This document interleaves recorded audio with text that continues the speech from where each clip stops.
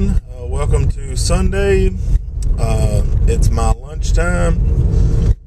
I still had to work today. Luckily, though, I did not have to run a route like I did yesterday, which really sucked. I didn't get home till after 8 last night. So that was fun, considering, you know, I don't get commission for the 12 jobs I did.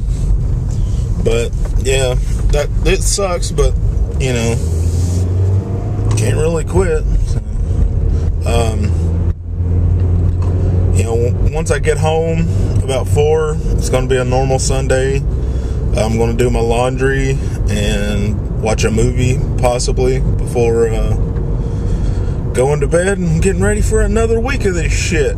So, uh, unless anything interesting happens, this will be the last I talk to you. But uh, as always, if anything interesting does happen, I'll turn the camera back on and let you guys see it. So, uh, have a good one and talk to you tomorrow.